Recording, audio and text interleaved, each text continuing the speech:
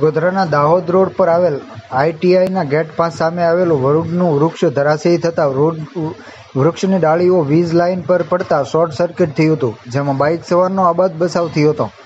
Short સર્કિટના કારણે transform એકાએક આગ ભભૂકી ઉઠી હતી, જેના પગલે આસપાસના લોકોના ટોળે ટોળા ઉમટી પડ્યા હતા. બનાવની જાણે એમજીવીસીએલને અને ટ્રાફિક પોલીસને થતાં ઘટના સ્થળે દોડી આવ્યા હતા અને તે વિસ્તારનો પુરવઠો બંધ કરી દેવામાં આવ્યો હતો. એક બાઇક ચાલકને સામાન્ય ઈજા પહોંચી હતી. આ પહેલા પણ ડેરી પાસે આવી જ રીતે વૃક્ષ ધરાશાયી થયું હતું.